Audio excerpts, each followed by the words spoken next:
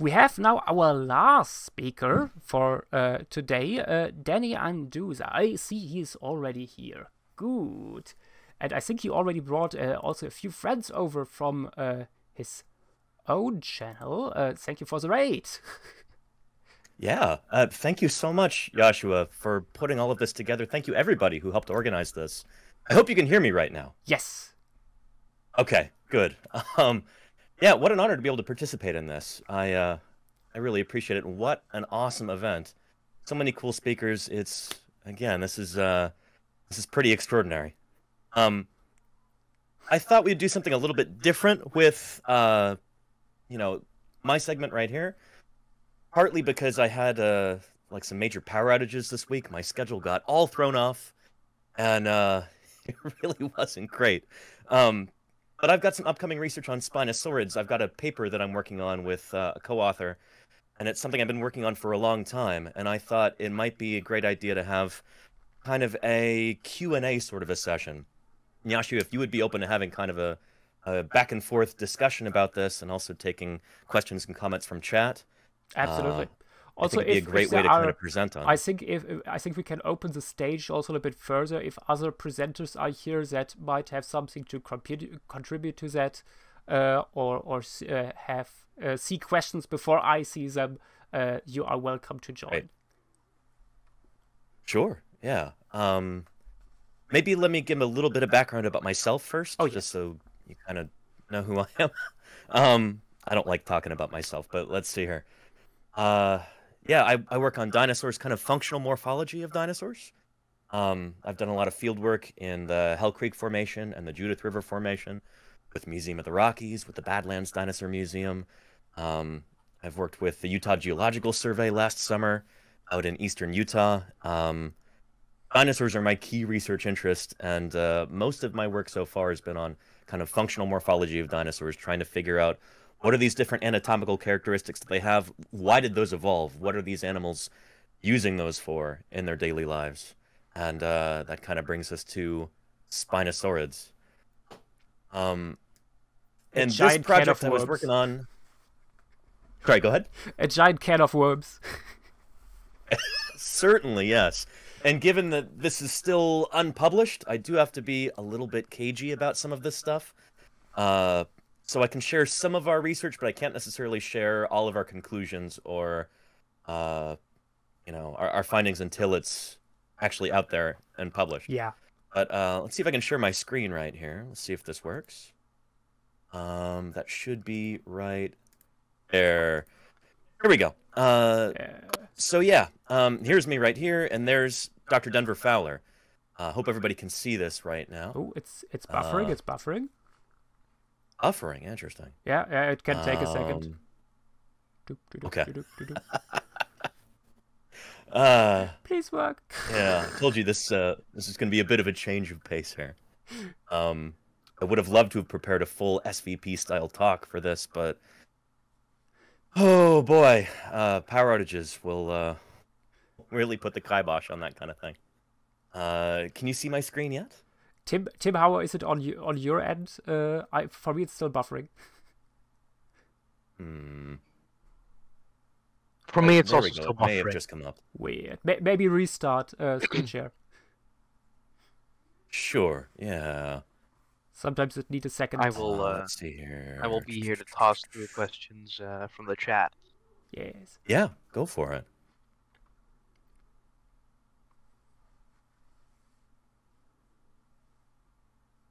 Ah, there we go. Now it works. Excellent. Okay, all of that for just a little photo like this. Anyway, here is uh, is me right there, uh, with the orange uh, uh, kafaya. There's Denver Fowler. Uh, yeah, um, dinosaur paleontologist at the Badlands Dinosaur Museum in North Dakota. If anybody ever happens to find themselves in the state of North Dakota, make sure you visit that museum. Uh, here's Denver's uh, father, Warwick Fowler, who would join us in the field. Warwick, unfortunately, um, passed away uh, recently. Um, but yeah, he was a uh, kind of a, a, living legend in um, amateur British paleontology, at least as I understand it. Uh, and here's Jack Wilson right here, for whom Daspletosaurus wilsoni is named after. Uh, Ah. A lot of people might be familiar with this new taxon.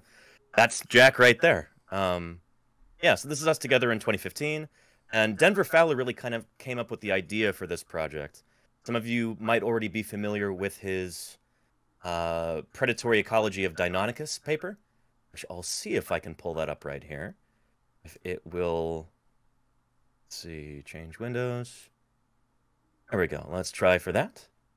Uh, Yes. I can just abandon this altogether. The uh, is it up? Yep. Excellent. Great. Uh, so the Raptor prey restraint model for Dromaeosaur, uh, like a stability flapping, that was Denver's idea. Um, so yeah, yeah. Uh, I think it was in about 2012. Uh, there we go. Denver approached me and he said, "Danny, I've got a potential project that you might be interested in. It's on Spinosaurids." Um, Denver, of course, is from the north of England. Uh, Baryonyx is one of the most well preserved and best most well known dinosaurs from England, at least in terms of its completeness. And uh, yeah, we uh, we decided to go back and look at some of the original publications on Baryonyx, and then kind of grab some low hanging research fruit. There were some ideas that were brought up in a paper early on, but we wanted to kind of test to see if if they actually stand up to scrutiny. Um, it was kind of the the impetus for the project there and uh, f- glad to finally be on the verge of, of publishing this thing pretty soon. Um, but yeah, I, I don't know. We should ask if anybody's got any questions in the chat first There of all. I think uh, there is already uh, a question here. Um, brilliant. um, I will read this. It's by Petite here. How do we, you recommend we illustrate the way spinosaurus move through the water? Surface swimming, hippo Ooh. power walking, or swimming in the water column? That is an excellent question. That's something we actually touch on in this project. Um, we all know that Spinosaurids are controversial, especially uh, the genus Spinosaurus itself from North Africa. Whatever it There's is. exactly, yeah. Holy cow, Joschua, you you well know. I saw your uh, "We Don't Talk About Spino" video the other day, and that really gave me a chuckle. That was uh, that was pretty brilliant. Yeah, and yeah. kind of I, I mean, credit has to go to to Rick Raptor for putting together the lyrics, but yeah. Well, kudos to Rick Raptor. Holy cow, uh, excellent stuff. It's become basically a meme at this point. Uh, what was Spinosaurus doing? Our project focuses maybe a little bit more on baryonychine spinosaurs, like Baryonyx, Suchomimus, those ones, just to try and kind of sidestep all of the Spinosaurus controversy. Although there are definitely still implications for Spinosaurus. We are of the opinion right now that these animals weren't subaqueous pursuit predators. These things were not, as far as we know, chasing fish actively through the water like uh, you know an otter or something like that. Uh, it would have been a little bit more, almost kind of between like a heron and a hippo. Uh, kind of wading predators, maybe submerging themselves up to about belly deep.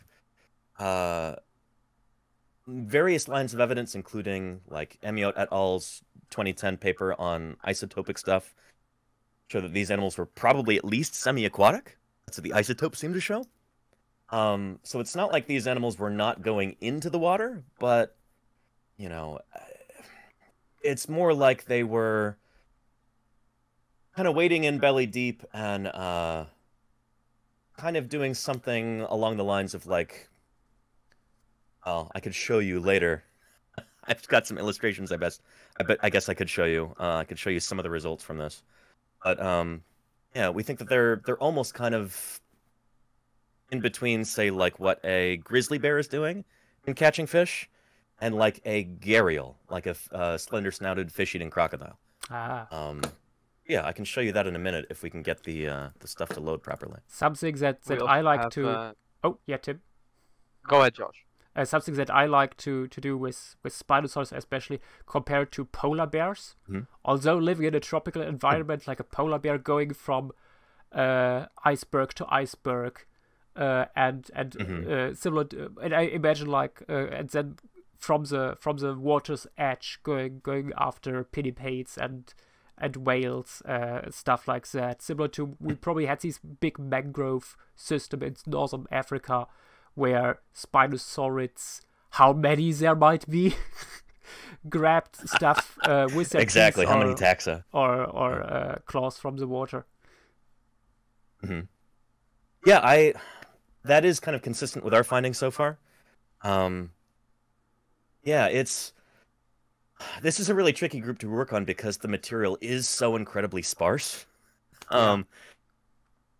Yeah, but there were some recent papers that came out uh, that we cite in our paper talking about buoyancy in in spinosaurids.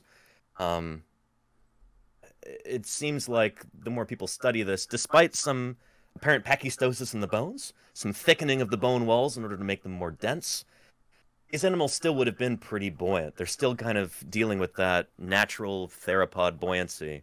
It's Yeah. just kind of, you know, a synapomorphy of the whole group. They've got air sacs and hollows through their skeleton. These would have been, you know, not nearly as pronounced in Spinosaurids, but they still have that. Um, and maybe they're evolving toward being able to, uh, you know, be sub subaqueous predators pursuing fish actively in the manner of a gharial or something like that. But uh, yeah, they're they certainly don't seem to be there yet by the time they go extinct. Yeah, what what that's that's an interesting question for for Spec Evo. What would have happened if they Mm-hmm. didn't go extinct uh, towards the middle of the Cretaceous? There, like what would have happened Absolutely. if they had uh, persisted Mm-hmm. until the end of the Cretaceous or beyond? Absolutely, yeah. And that's another thing that I wonder about also. What do these environments look like to be able to allow several large piscivorous animals to all coexist in the same environment? Because spinosaurids are living alongside crocodilians, some of them almost obscenely large. Um, how in the world are these animals able to uh, to get along with them? Are there that many fishes around here? Were sea levels this high that you know, you would have had all of these low-lying coastal areas just inundated, and there's just scads and scads of habitat for everybody. Uh, yeah, it's an interesting, it's an interesting question. Um, Yeah. Uh, Yeah, Tim, do you yeah. have uh, a question? Otherwise, I found one. Uh, there was a question in chat um, about Spinosaurus proper and its short legs. mhm. Uh, were Spinosaurus Yeah. Legs uh, likely an adaptation for better swimming?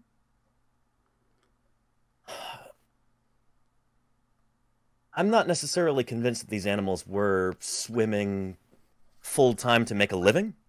Um, we kind of envision them more as wading predators, and we get into this in the paper extensively.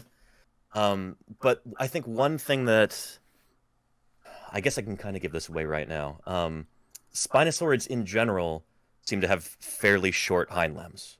This Yeah. is not something that's necessarily unique to Spinosaurus. Spinosaurus might take it to an extreme, again, we need more fossils to kind of test that hypothesis, figure out actually what's going on anatomically with that animal, because it's essentially a chimera right now.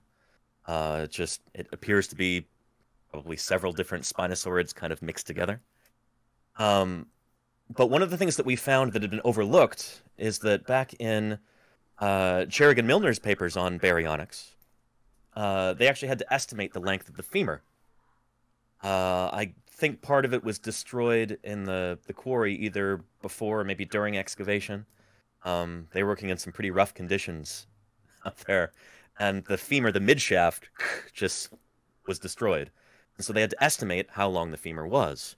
And uh, most of the reconstructions that you see of baryonyx, kind of take for granted that it had a sort of typical, you know, large theropod length femur.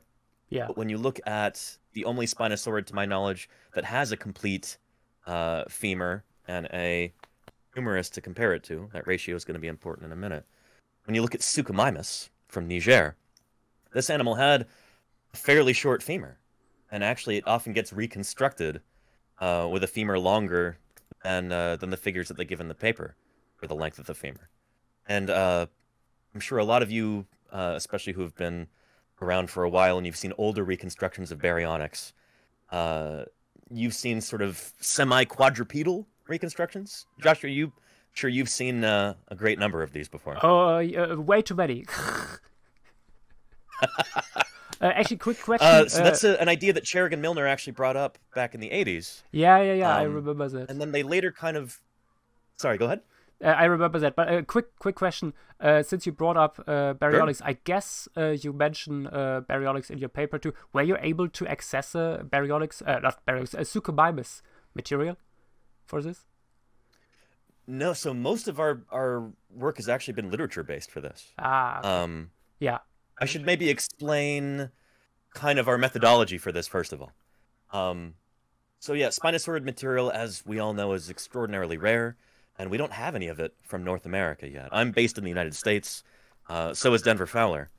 Um, but we recognized that there was something kind of fishy going on with uh, reconstructions of Spinosaurid fishing behavior, Hmm. and uh, we decided to look through the literature and then look for any mentions of fishing behavior that's proposed in any of these papers. Oh, they were fishing like grizzly bears, or they were fishing like herons. They were doing this, they were doing that, and we decided to actually do a like comprehensive review of uh, of fish-eating tetrapods, um, and to try and find a good analog for spinosaurids. And it's difficult because they are unlike any other modern fish-eating tetrapod. Uh, they've got this bizarre suite of different adaptations that's uh, yeah nobody else has got. Uh, and so yeah, we uh, we looked. We, this is kind of a combination of like a literature review and looking at extant animals to figure out how they uh, actually catch fishes. Usually, either using their jaws or using their claws, um, which has been proposed for spinosaurids. So it's anatomy. yeah, a lot of comparative functional morphology, basically. Yeah, yeah. Um, and I don't think any of our findings are going to be. I think it's going to be particularly shocking. There's going to be a lot of kind of aha moments, like, "Oh, that makes a lot of sense." But uh, there's some interesting things that I think we're going to try and dispel. Uh, yeah, yeah. Stay tuned for the paper. I need. I'm going to get this thing published before I leave for the summer in June for fieldwork. I I have to have it Ah, submitted yeah. for publication before then. So uh, really looking forward to that. Yeah. Do you Yeah. have another question? Oh sure, yeah, go for it. Uh, Tim, do, are do, do you have another one? Chat. Um, let me see. Uh, a lot of questions on Spinosaurus proper. If you're uh, okay with taking those. um, Uh, yeah, I'm totally fine. Yeah. Vasi is asking for your opinion on the amount of Spinosaurids that we have from North Africa. That's an excellent question, and that's one that I can't talk with any kind of authority on, unfortunately. Um, it seems like I think there's a growing consensus that uh, the Spinosaurus model, the one that was on the cover of National Geographic, or uh, this one that's become really popular of like the you know subaqueous pursuit predator Spinosaurus, uh, that is probably an amalgam of several different Spinosaurids kind of mixed together. Yeah. Um, but again, it's really difficult to say. We're it's an uphill battle trying to figure out uh, what these animals look like because we have so little material and yeah, yeah. yeah. So, but we certainly do have. Uh, it seems like we've got multiple Spinosaurid taxa. How they line up stratigraphically uh, in the time of Spinosaurus, like, are are are we looking at an anagenetic lineage here? Are we looking at different Spinosaurid groups? What is ontogeny? What role does ontogeny play in all of this? Also, um, And yeah, these too. are all really complicating factors. Geography, absolutely, yeah, Yeah, yeah, like- like there was I'm this paper that so- just came out recently. I'm so pleased uh, that that slowly the, the Egyptians are building up their own paleontological program and go back to Bahariya to look at what what Stromer left behind, basically. Absolutely, yeah. Yeah, this summer I was lucky enough to work with an Egyptian paleontologist, Ah, uh, nice. Belal Salem. He came out to uh, to ah, Utah yes, to yeah. uh, Oh, to dig with us, and uh, yeah, it's it was, it's really exciting to hear about the progress that they're making there in kind of uh, taking hold of their paleontological heritage and and building different programs and uh, it's it's wonderful. I love to hear about it.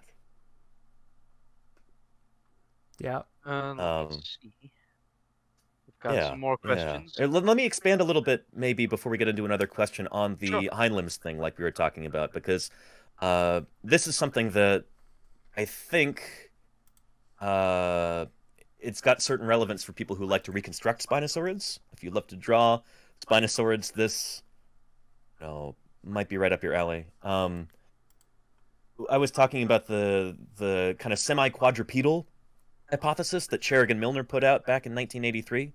Um, you know, I've got like a plastic model right here that I could show off. Uh, you know, we've all seen this kind of quadrupedal model of baryonyx. It's kind of got a fish under its claw right there.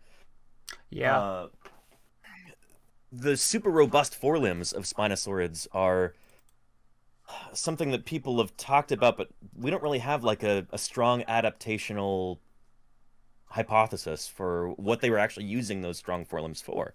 Why do they have these super, super robust humeri and really robust radius and ulna as well? Um, given that these animals do seem to have actually had shorter hind limbs, um, they very well uh, the the forelimbs might play a strong role in feeding, either in actually prey capture or maybe just kind of resting on the forelimbs in order to bring their snout kind of closer down to the the substrate uh, when they're trying to catch fishes, and that's something that we talk about in our paper here. Or Um, something as, as that that by uh, came to my mind looking recently at some Brazilian material, um, Mm-hmm. just uh, prey transport. Because many Sorry, of say again. Prey. Uh, prey transport, because uh, some of these Spinosaur Ah, um, more derived Spinosaur claws we have aren't really that curved. They are not really these typical meat Mhm. hooks you would expect, but the fingers are still quite long. So Right. they were probably. So, so I could imagine them. Okay, I just caught this thing. There's a bunch of sharks coming in for, into the shallow water where I caught it. Bring it onto Uh-huh. land, and also it's closer to the center of mass uh, uh, than Sure. than in my my snout because uh, okay, yeah, the, the torso is quite long. Uh, don't want to fall over. very long in dinosaurs. Yeah. Yeah. Yeah. Um, that is something that I should explore a little bit. Uh, one of our hypotheses for what they're using the claws for does kind of deal with this. Um, yeah, big hooked claws like that. You know, in a previous paper, Denver was looking at uh, at different birds of prey and what they use their claws for. Uh, he was measuring curvature. He was measuring, Yeah. you know, how large the claws claws are in relation to the phalanges um, all kinds of stuff like this. And uh, we didn't quite go in that depth with into th that same depth of detail with Spinosaurids, but we're uh, yeah, there's there's definitely a common theme there. I could, I guess I can talk about this right here. Um, one of the things that Charig and Milner uh, kind of proposed back in 1983 that becomes kind of a meme in paleo art, even back in the 1980s and through the 1990s and 2000s, is that these animals were kind of, you know, skewering fish with their claws and then maybe dragging them up onto land or something like that. Um, but yeah, they keep bringing up this idea of kind of gaffing fish out of the water. Uh, and they say this is a behavior that's analogous to grizzly bears today. They say, oh, yes, grizzly bears, they catch fishes, obviously. Um, up in Alaska, there are grizzly bear populations where, for a good part of the year, they're mostly eating salmon. That's where most of their calories come from. And they said, oh, yeah, Yeah. just like grizzly bears will hook fish out of the water with their claws, maybe Baryonyx was using its enormous claws and its robust forelimbs for the same thing. But there's an issue with this idea, and uh, some people have probably uh, picked up on this already. Grizzly bears don't actually do that. Yeah. um, when grizzly bears fish, they don't actually hook fish with their claws. They don't gaff them out of the water. They don't flip them out of the water. Um, and so we were looking at some studies on how grizzly bears actually catch fishes in the first place. What are the methods that they employ with these big forelimbs and those big claws that they have? And uh, yeah, gaffing or hooking, not a thing that they actually do. So using uh, bears as an analogy for Spinosaurids to propose this behavior, you know, it, it just doesn't follow. Um, Yeah, at least in so that yeah, we, aspect. we looked at yeah. what grizzly bears actually do. Yeah. Sorry, go ahead. Yeah, at least in that uh, in that aspect of of their behavior and Mhm. stuff. Yeah. Yeah, yeah. So when we were looking at Spinosaurids like this, um, we had to kind of create a short list of different modern tetrapods to compare them to. And grizzly bears made that list. Uh, they're one of very few like kind of large tetrapods with claws that are mostly terrestrial that feed on fishes. Um, so we try to figure out how do grizzly bears actually catch fish. And it's tricky because grizzly bears are not they don't actually have any strong morphological adaptations uh, for piscivory. In fact, like the majority of grizzly bears don't actually go out and catch fish. It's actually like a cultural practice among brown bears. Yeah. grizzly bears.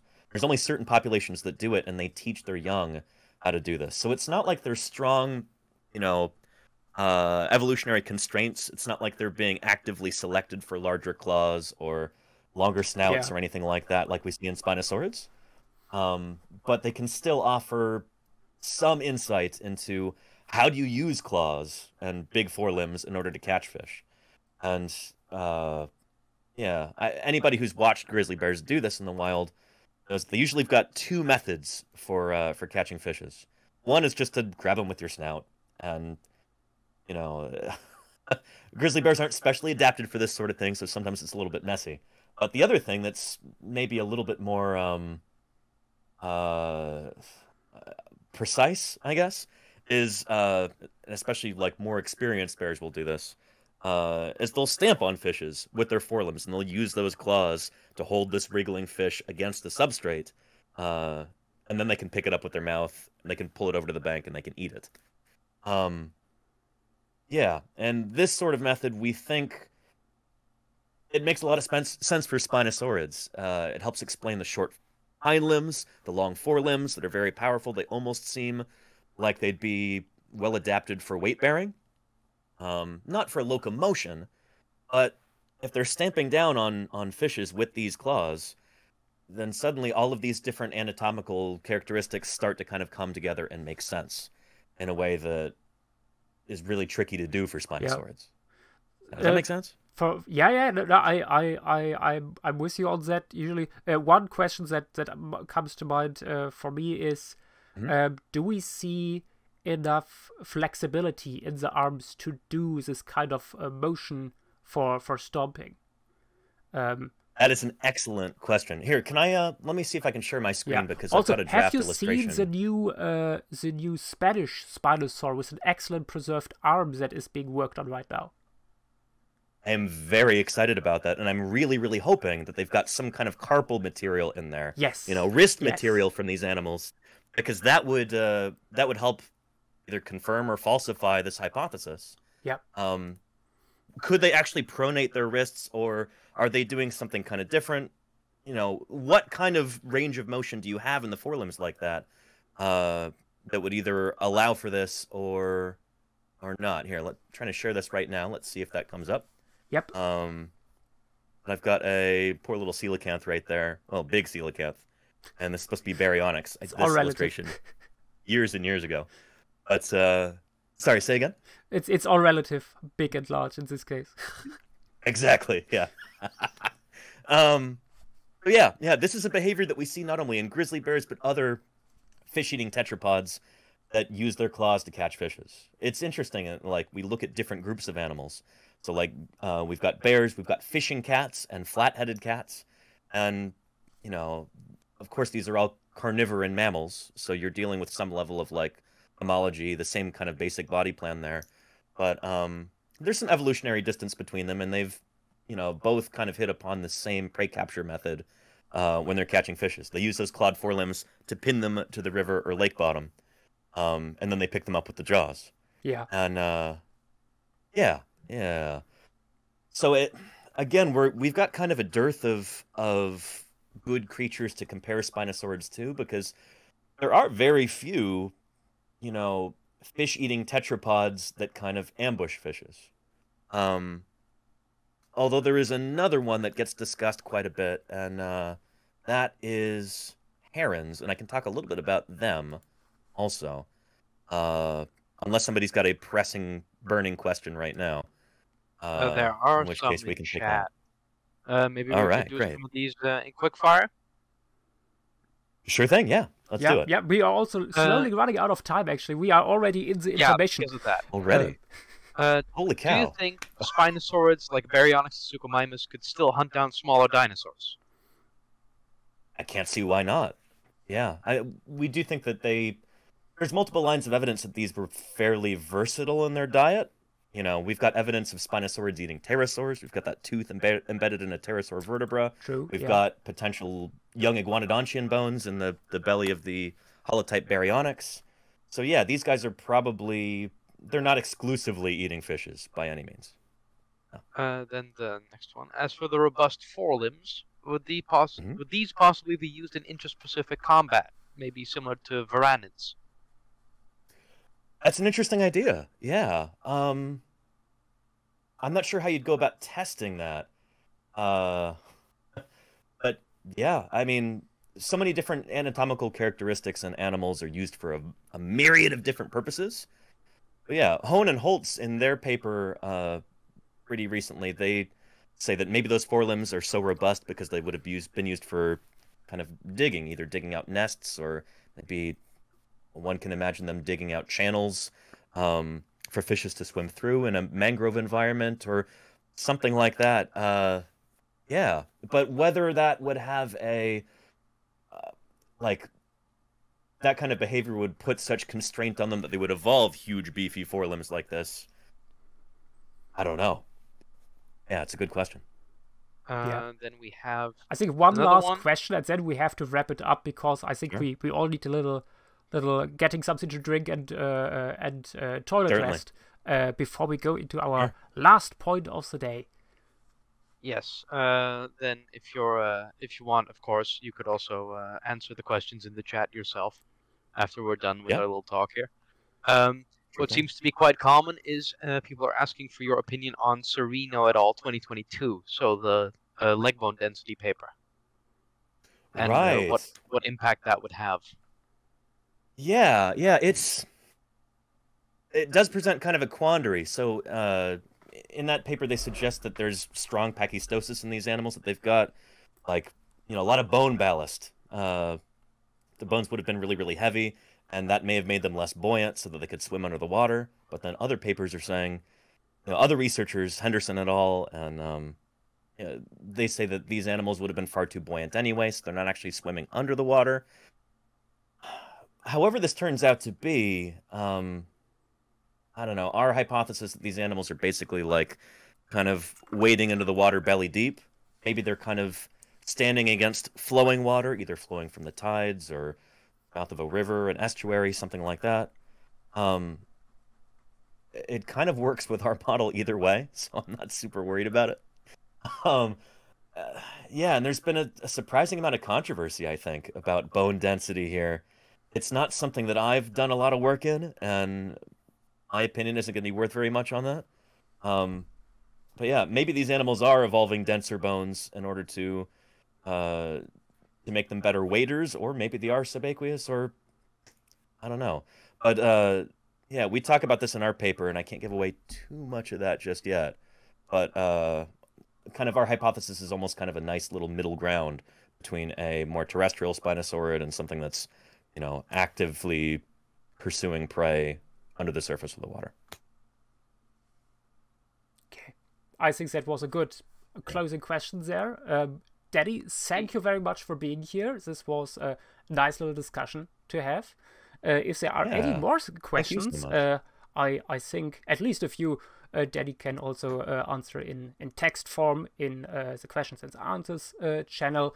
Uh, other than that, Certainly. I have now a little uh, pause. I would say five minutes uh, before we go into uh, our next point, which is uh, the QBs.